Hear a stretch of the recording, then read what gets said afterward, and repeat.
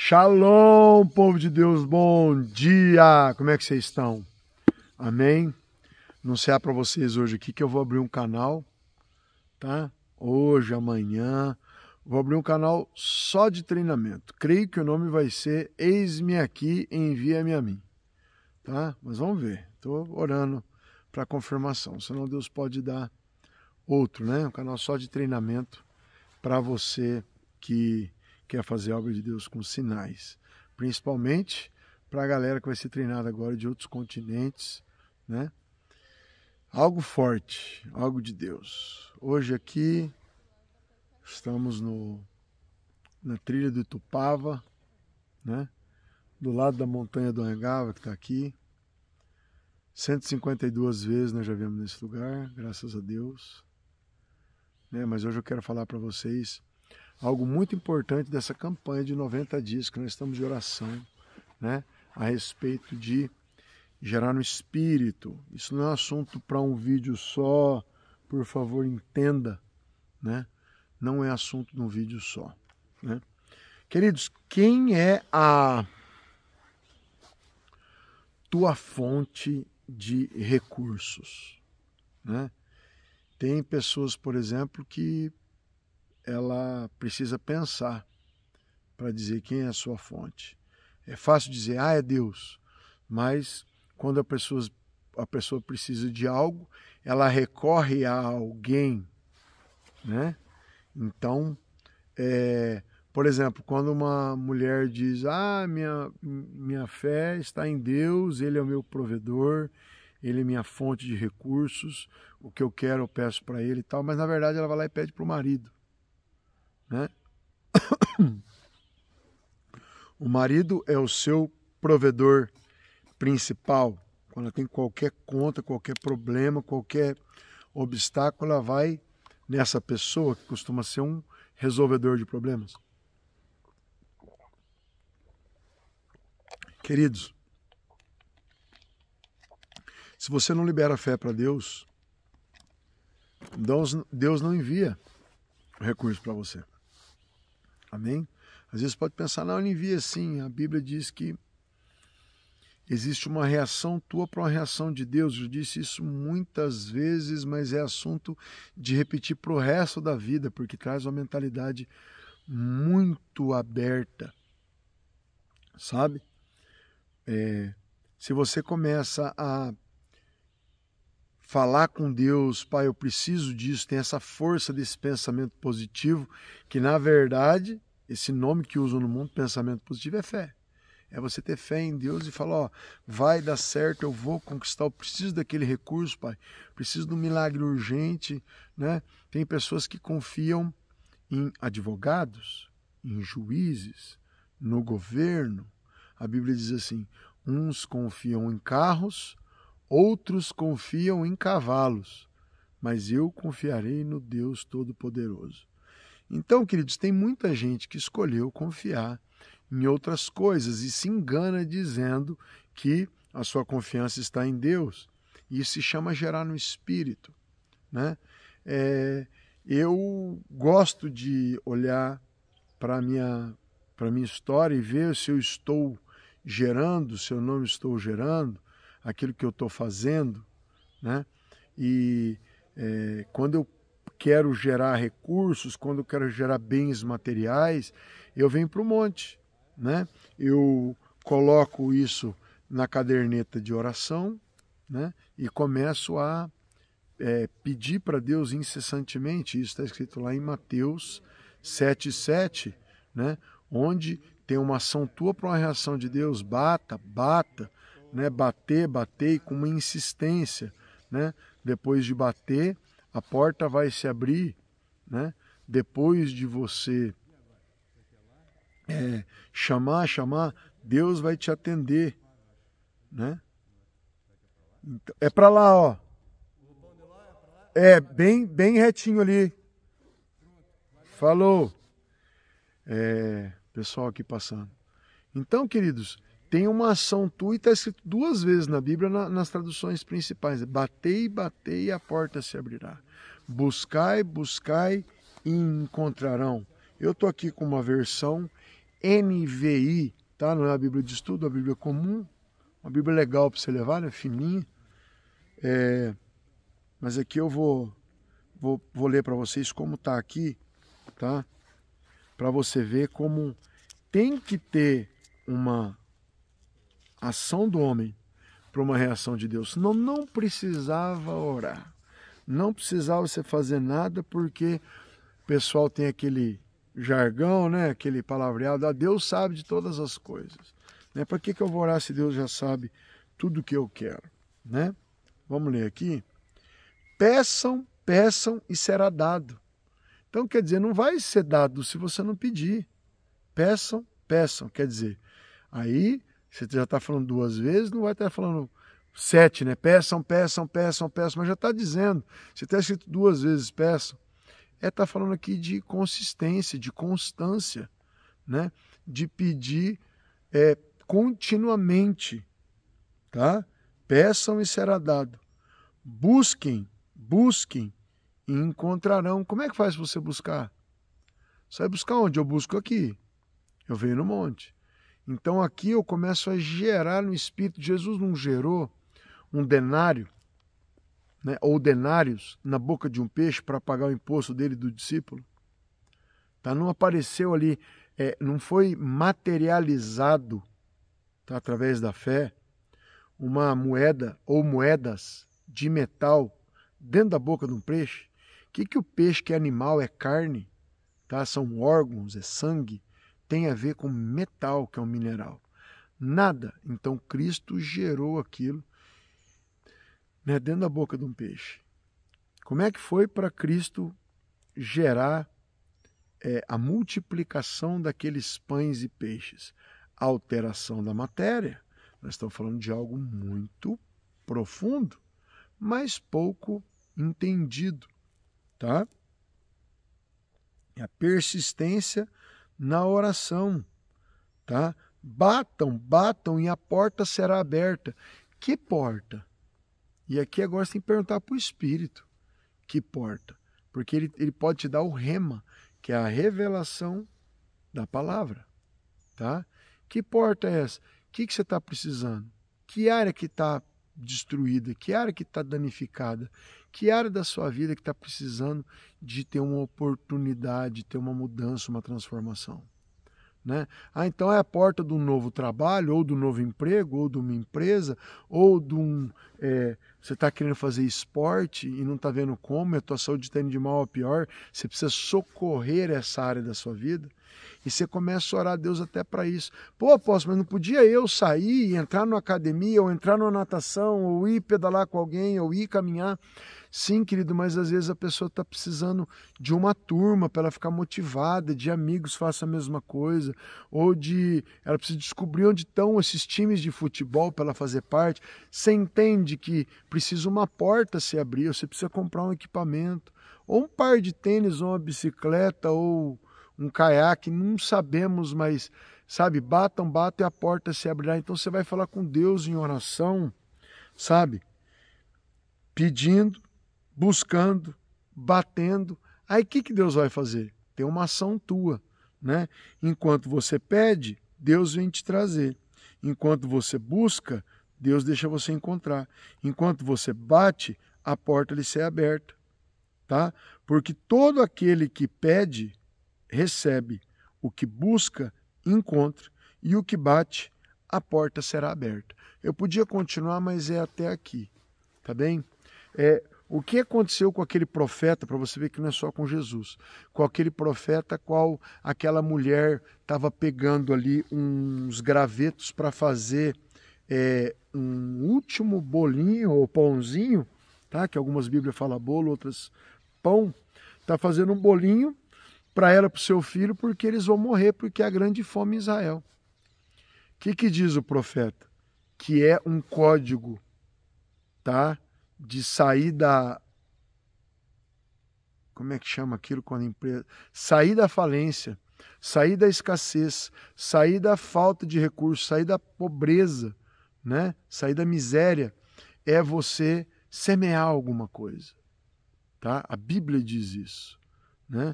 Que quando você semeia, você vê que para para ver a multiplicação de pães e peixes, Jesus perguntou: O que, que vocês têm aí? Né? Jesus falou: ó, É dando que se recebe. Quando o menino se pronunciou, falou: oh, Tem aqui cinco pães e dois peixinhos. Era lanchinho de criança. Era um menino que deu aquilo ali. Que nem uma criança vai para a escola, leva ali o seu pãozinho. Era a provisão de uma criança. Da provisão de uma criança veio a provisão para mais de 5 mil pessoas num, numa vez e mais de 7 mil na outra. O que, que Cristo está mostrando para nós? O que, que você consegue entender disso? Uma lei aqui para você prosperar muito. Tem alguma coisa travada que não está indo, eu estou precisando de inscrições, eu estou precisando de venda, eu estou precisando de algo oferte algo a respeito daquilo e ore em cima. Jesus pergunta: Quer multiplicação? Sim, Senhor, eu quero. Quer o mês extraordinário de junho? Quero sim, Senhor. O que você tem aí? Jesus pergunta: O que, que vocês têm aí? Vocês têm que começar com algo. Como é que é a lei da multiplicação na terra? Está no solo você tem que comprar uma semente ou encontrar uma semente ou procurar essa semente. A hora que você tem ela, tem algum valor, aquilo mesmo que pequeno, você pega ela e planta. Você abre mão dela, você tem que dar para a terra a semente. Se você ficar com a semente na sua mão, ela não germina. Ela não multiplica. Semente na mão não vira nada. Então você tem que abrir mão dela. E quando você põe a semente no chão, amém? e rega e ora e tem expectativa. Lá em Provérbios diz que todo agricultor tem expectativa sobre a colheita daquela semente. Então a pessoa que plantou, ela tem esperança, falou, vai crescer e eu vou colher. A pessoa que planta um, um limoeiro, ela sabe que ela vai colher uma quantidade grande, ela não vai colher um. Né? Ela plantou, ela regou, ela colocou num lugar estratégico, ela tem uma esperança ali. A própria Bíblia deu, dá um código para nós, né? Que nós comeríamos do suor do nosso corpo, né? Quer dizer, você trabalharia, se esforçaria e você colheria. Então é bênção de Deus, mas tem gente, tá? Que não entende isso, que cria uma fortaleza na mente e não aprende os comandos, os códigos os planos de Deus para você colher. E ela não sabe abrir a mão e soltar a semente. Então o que, que ela faz? Ela come o pão, que o pão é para ser comido, tá? E ela come também a semente. Tem algumas vezes na Bíblia, tá? Que a pessoa teve que plantar algo, ela não tinha, ela plantou o próprio pão. Lança teu pão sobre as águas, porque depois de um tempo voltará a encontrar, tá? Então quer dizer, queridos, é, quando o Espírito Santo te motivar falar, até o pão agora você tem que você tem que plantar. Na maioria das vezes o pão é só para você comer. Então Deus traz recursos para a tua vida que é para você gastar com a tua casa, com a tua família, ou para é, até guardar, né? economizar para comprar algo maior. E tem coisa que Deus manda para você que é para plantio. E se você não é uma pessoa espiritual, você come tudo sabe? Vem semente, nhaque. Vem pão, nhaque. Tudo que vem. Aí tem até pessoas que ultrapassam isso. Não é quando chega nhaque. Ela come até o que não tem. Ela começa a fazer contas em cartão de crédito, cheque especial, ou mesmo na confiança com empresas, com lugares, com mercados, com o tio da padaria, com o irmão do açougue. Aí você começa a gastar até o que você não tem. Aí você entra num ciclo né, de viver para pagar as contas.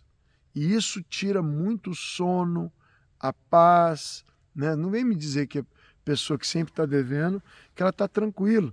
Tem pessoa que vive, é, é, ela às vezes não consegue dar o dízimo, devolver o dízimo, né? E, mas ela, ela paga 16% de cheque especial por mês, sabe? Ela não, devolve os 10% do senhor. Então ela entrou nesse sistema financeiro que, inclusive, todo mundo tem que viver nele, mas visa, em algarismos romanos, somar os números da 666, se você não sabe. Então, o sistema econômico mundial, o maior do mundo, é a Visa, né? E as pessoas são escravizadas, né, a esse sistema econômico em ter que ficar dando porcentagem da renda. Então, quer dizer, se é um sistema monetário mundial que tem o, o, o codinome, da, o número da besta, né? Um, um sistema econômico comandado por Mamon, a pessoa não consegue dar o dízimo na igreja, mas dá o dízimo para Satanás. Olha que terrível.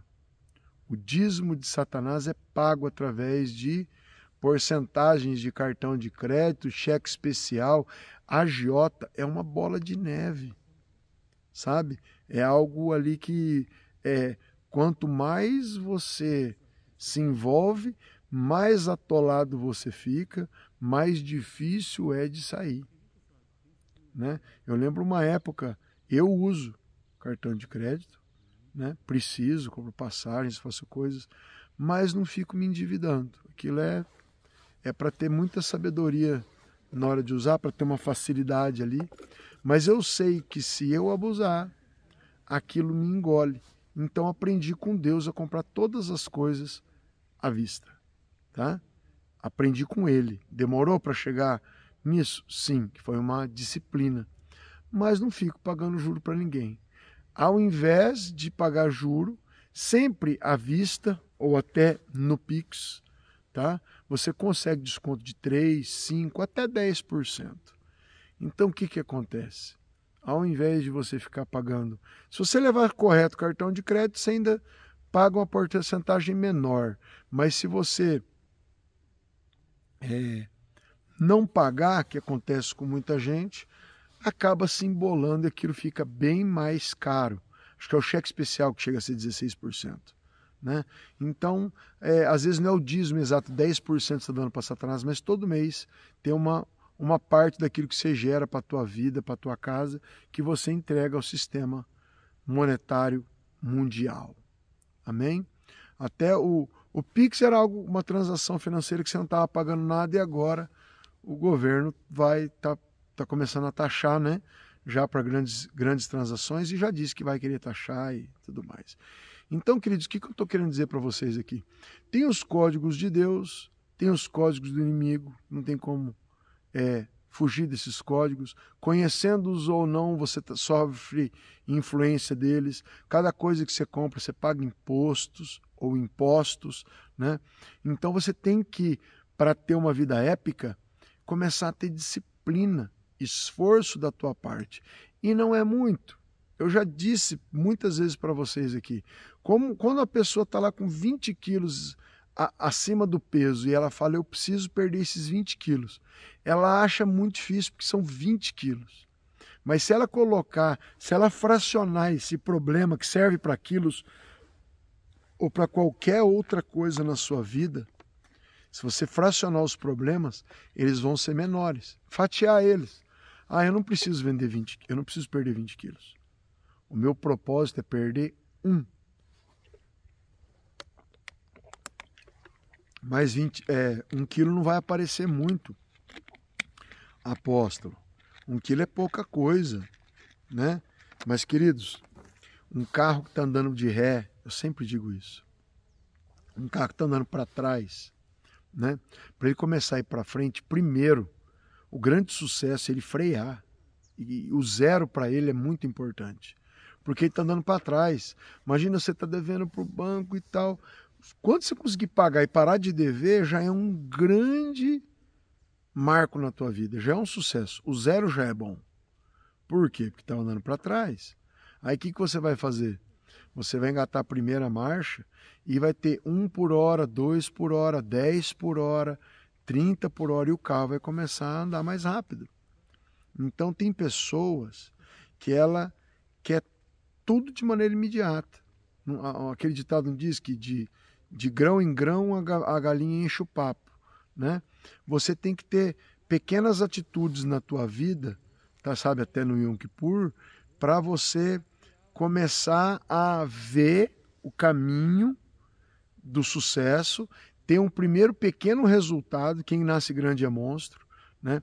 Primeiro um pequeno resultado para depois ter outro resultado maior ou somar pequenos resultados e ter algo grande. É assim. Né? Eu não guardava dinheiro nunca. Tudo que chegava gastava indo com cartão de crédito. Era uma bola de neve. Eu decidi, falei, não, eu não tenho condição, condições de poupar algo. Né? Mas eu vou me esforçar muito, eu vou guardar 100 reais no mês. 100 reais eu vou pôr numa lata, eu vou pôr enterrado e não vou mexer. E o inferno se levantou para mim não, não guardar aqueles 100 reais.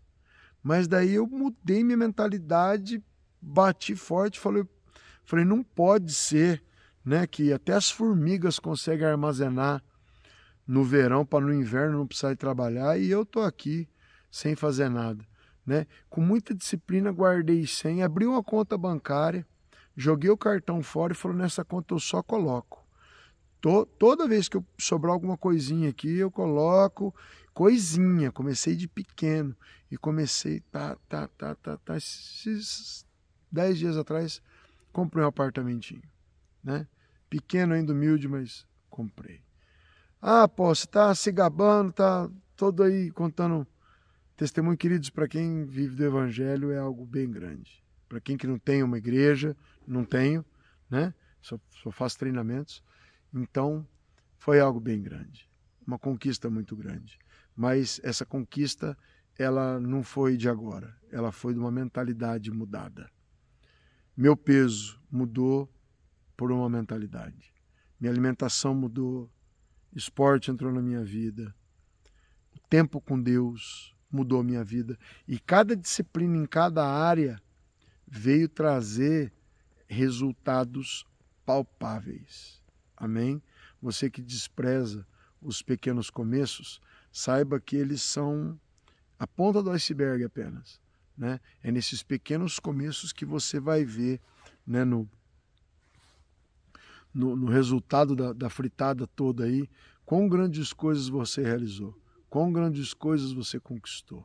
Então, acredite, comece com pequenos gestos, né? Tem pessoa que fala: "Ah, eu não gosto da nutricionista porque ela vai mandar eu parar de comer todas as coisas, eu gosto de doce, eu gosto de de uma pizza, eu gosto do sei o que". Não pare com nada dessas coisas, né? Mas entenda que elas são prejudiciais e se policie para diminuir, diminuir quantidades, né? Eu já cheguei a comer 16 pedaços de pizza. Né? Eu me eduquei agora, eu vou num rodízio, eu falo, eu, eu olho no rodízio, antes eu queria ir lá no rodízio e comer para dar prejuízo para o rodízio, prejuízo para o restaurante.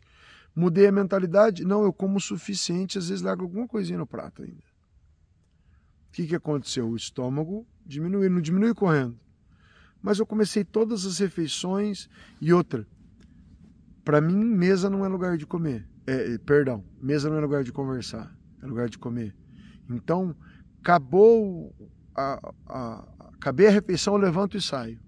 Mas é difícil, é legal ficar sentado, comendo, ter comunhão. Eu sei, queridos, mas isso traz barrigão. Comunhão traz barrigão. Então, o que, que eu fiz? Eu já pesei 118 quilos, eu sei quanto é ruim. Eu sei que eu passei pela diabetes, eu sei quanto é ruim. Então, eu falei, eu preciso de disciplina que, que, que os médicos dizem? Reeducação alimentar. É você ir tirando alguns alimentos, falando esse aqui, ou, ou eu tiro ou eu diminuo. Né? Você aprendeu que farinha branca é veneno para a saúde, carboidratos, começou a ver que o pão, o arroz, o feijão, o milho, a batata, né, farinha de trigo, pão, essas coisas são prejudiciais. Né? Quanto mais velho você vai ficando, mais difícil é de você emagrecer. Então você precisa de disciplina todos os dias em tudo e não virar um chato com você mesmo, mas ter um mínimo de disciplina e de controle, porque domínio próprio é um dos dons do espírito. Você ter domínio sobre você mesmo. Ah, eu não aguento. Eu chego nos lugares, eu como igual um cavalo, igual um boi. Não, é. Você vai ter que chegar nos lugares, pegar uma quantidade e falar: não vou voltar a repetir, eu vou me controlar depois de um tempo, essa parte é difícil, é igual largar de fumar. Né? Largar de fumar, todo mundo ah, é difícil, é difícil, é difícil. Quando você para, parei e falei, vou, vou ter domínio sobre o cigarro, não o cigarro sobre mim. Tem pessoas que o problema dela é compra, é compulsório. Ela quer comprar, Ela quer colocar lá mais uma bolsa no armário, mais uma bota no, lá. Ela pode jogar dentro de casa, ela pode nunca usar, mas ela tem vontade de comprar. E ela começa a comprar coisas mais caras. E ela precisa comprar. Ela precisa ir no shopping. Ela precisa. Ele precisa. Sabe? O que, que acontece? Ela nunca tem nada. Porque quando o dinheiro chega na mão dela, explode. Chega outro aqui, explode. Tudo que toca vira bens materiais. Então ela não tem nada guardado para comprar algo grande, para começar um negócio. Ela não pode nem imaginar, porque ela não tem disciplina. Sabe? Então esse negócio de não ter disciplina é muito fácil, não ter disciplina, não ter domínio próprio. Mas você precisa se esforçar. E se você quer ter um ano épico, um mês épico, sabe? Você fala, puxa, eu não estou conseguindo aqui perder um peso, mas eu vou tirar aqui, sabe? Esse negócio de comer, é, de comer de manhã três, quatro pães, eu vou comer um só. Ou ter alguns dias ainda eu vou trocar por ovo. Vou comer ovo no lugar, sabe? Eu vou parar de tomar refrigerante normal, eu vou tomar zero. É pior? Lógico que é pior. O açúcar é uma delícia. Diz que o açúcar e a cocaína viciam igual. Tá? Os médicos falam isso. Eles sabem o que eles estão falando. Tá? Os, os, tem três pós que são prejudiciais para o homem em excesso. É, perdão, não em excesso, que que três, três pós brancos que matam o homem, né? É o sal, o açúcar e a cocaína, né? Todos eles matam o homem. Então, queridos, sal em excesso, pressão alta, te mata, né? Açúcar em excesso, diabetes e problema de obesidade, te mata. Cocaína, então, nem se fala. Então, o que, que você tem que fazer? Você tem que se regrar. Você fala, eu vou. Ah, eu tenho preguiça de ir na academia acha, acha outra coisa. Ah, não tem bicicleta. Não gosto de bicicleta também. Natação. Não gosto de natação. Vai fazer trilha. A galera que está passando aqui, elas pegam uma trilha aqui de 20 quilômetros. Faz trilha. Ah, trilha eu gosto. Então, bora conhecer todas as trilhas perto da sua casa. tal. Depois você vai tomar gosto por outras coisas. Ah, não gosto disso. Bola. Bola não é só futebol, não. Tem vôlei, tem basquete você vai arrumar alguma coisa para você fazer. Fala, alguma dessas eu vou ter que gostar. Tua alma não gosta de um monte de coisa, teu cérebro não gosta nem de sair do sofá, sabe? Você tem que ter disciplina para sair, sabe? Buscar a Deus é difícil. Então, você vai ter persistência. Qual versículo que eu comecei aqui?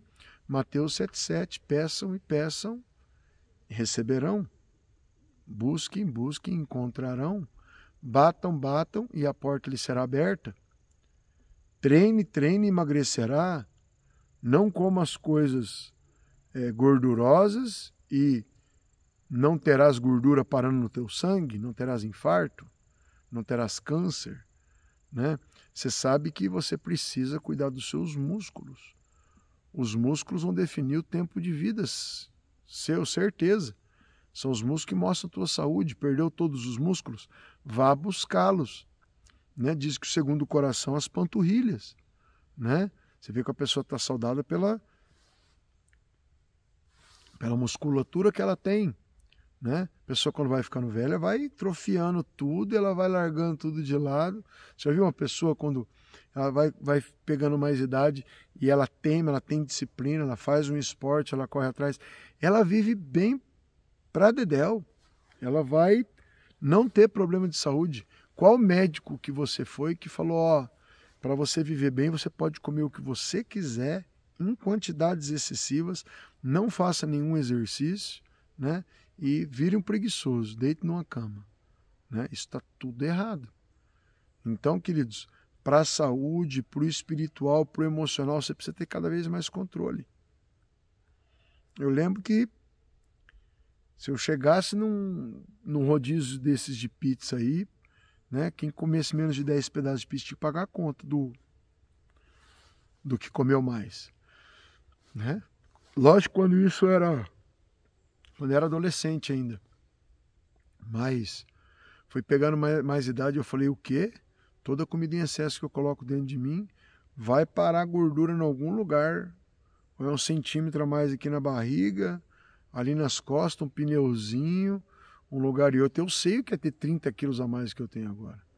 Então, saindo um pouco dessa área, mas entrando nas finanças também, se você começa a ter disciplina, não vou, não vou gastar em excesso. Ó, eu ia para o shopping hoje, eu vou me policiar, né? Eu vou entrar no shopping, eu vou conseguir só comer um, um negócio lá dentro, eu não vou comprar nada, eu vou olhar, eu vou aprender a olhar sem aquela impulsividade de eu preciso levar o um negócio para casa, sabe?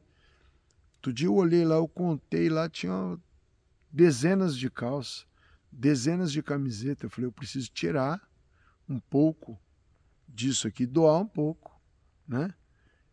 Tirar, mandar embora, porque tem muita coisa, eu não preciso de tudo isso para viver. De vez em quando eu faço limpo, eu jogo panela fora, coisa boa também, mas não é jogar fora, é colocar na rua para alguém pegar. Né? Então você acaba que você está ofertando alguma coisa na vida de alguém também, coisas boas, não coisa quebrada, coisa quebrada de jogar fora mesmo, né? Mas o que acontece? O, o, o mundo é assim. Né? As pessoas que evoluem ficam sábias porque elas têm disciplina, elas têm controle sobre elas, controle sobre o corpo, controle sobre a finança, controle sobre as emoções, né? Elas aprendem a dizer não. Isso tudo é para você ter uma vida épica. Então vai pegando esses ensinamentos porque eles são bíblicos, sabe? Vai se policiando, vai se treinando e lembre-se, tá? Agradeça a Deus pelos pequenos começos, pelos pequenos resultados, porque eles vão somar pequenos com pequenos, com médios com grandes e vão te trazer um montante. E esses montantes vão te trazer muita alegria. Amém? Você só consegue conquistar coisas grandes é, poupando, traçando planos, tendo estratégia, né? É, eu vi o senhor falando comigo, compra aquele apartamento lá, mobila ele, arruma bem certinho, vende, aí você vai comprar a casa que você quer. Né? Senão nunca vai ter casa, está acostumado com aluguel, deixa quieto. Por que pessoas têm casa? Porque um dia fez um plano, colocou Deus no negócio, pediu, colocou no papel, pai, eu quero, eu vou ter, e basta você decidir. E todas as coisas vão cooperar para aquilo acontecer. Tá bem? Quero orar para a sua vida orar também para as pessoas que estão vindo para os treinamentos aqui conosco, tá? Como treinamentos de unção, corpos transmissores de glória que vai ter em julho, tá? O de o das mulheres que é profético, né? Não mulheres só, profético, tá, queridos? Eu fui dormir às três, acordei às cinco, né? Mas eu vou orar por você. Querido Deus Santo, Pai poderoso, eu quero que colocar a vida do meu irmão, da minha irmã na tua presença, declarando, meu Pai, tua grandeza, soberania, o teu poder, sabendo que tu és o nosso porto seguro, a nossa fonte de todas as coisas, tu és o Deus provedor e nós em ti confiamos, ó Pai. Em nome de Jesus, eu declaro que tudo que essas pessoas estiverem gerando, pedindo, elas vão receber porque é promessa da tua palavra, mas em nome de Jesus, abençoa elas, meu Pai, para que elas possam ter, Senhor Jesus, o melhor ano, que elas vão entrar, papai, nesse ano novo, agora no Yom Kippur, em setembro. Papai, em nome de Jesus, ó Deus, vai se abrir um ano no mundo espiritual. Aqui para nós, papai, nesse calendário solar, gregoriano que o papa, um Papa inventou. Meu Deus, nós estamos no ano 2023, mas não é essa a idade, meu Pai, do ano que nós vamos entrar, dia 24 e 25 de setembro. Então, em nome de Jesus, ó oh Deus, que nós possamos conquistar coisas grandes e ver, meu Pai, as tuas mãos se moverem a nosso favor. Em nome de Jesus, eu abençoo a cada um em nome do Pai, Filho e Espírito Santo. Amém? Que Deus te abençoe. Tchau, tchau.